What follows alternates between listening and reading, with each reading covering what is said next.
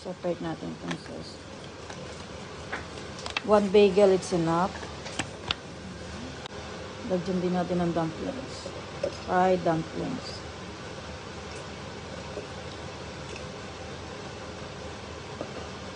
Para sa lunch niya. Ready na yung baon niya.